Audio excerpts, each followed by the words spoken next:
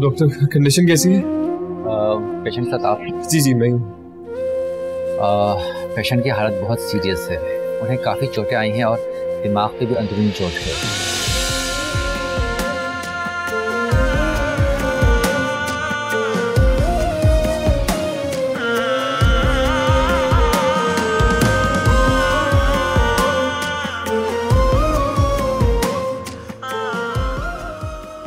अस्सलाम वालेकुम। मैं डॉक्टर फातिमा जी मैं जानता हूँ आपको। पेशेंट मेरे भाई हैं।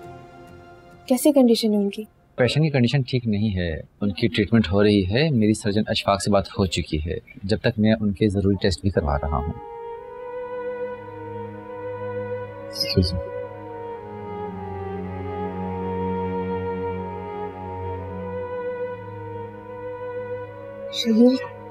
हाँ। प्लीज़ संभालो अपने आप को। भी तुम्हें पापा को भी बताना है। नहीं बाबा जान को उनको कैसे बताऊँगा? उनको नहीं बता सकता। प्लीज़ ऐसा मत करो। तुम्हें हिम्मत करना होगी। तुम्हें को तो सबको संभालना है।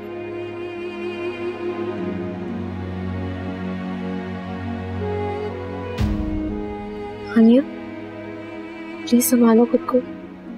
इंशाल्लाह अल्लाह सब ठीक करेगा। बस तुम दुआ करो।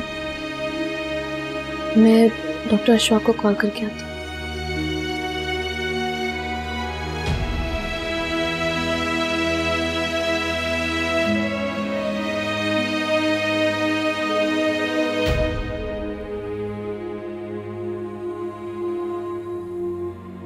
हर रोज गेट पे आके खड़ा हो जाता।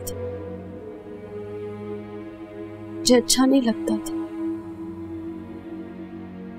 मैं उससे बात नहीं करना चाहती गुस्से में थी।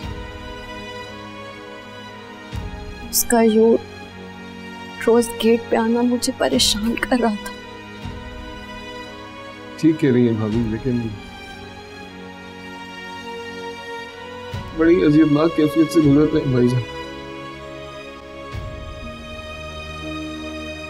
अपनी गलतियों का एहसास होने के बाद उनका बस नहीं चल रहा कि कैसे अदा करें गलतियों का।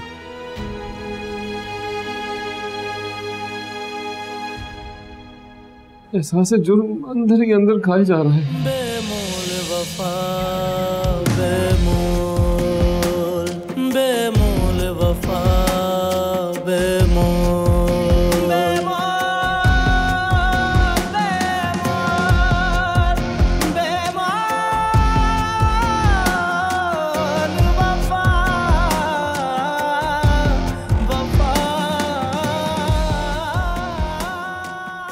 आज भी आया था।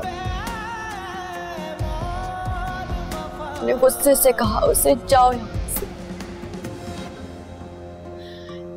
फिर मैं अपनी गाड़ी में बैठ गई और निकल गई।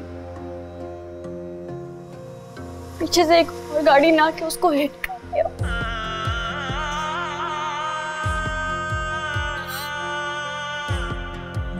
माना भाभी भाईजान से गलती हुई उन्होंने जो कुछ किया, बदगुमानी, गुस्से और चिढ़ने की।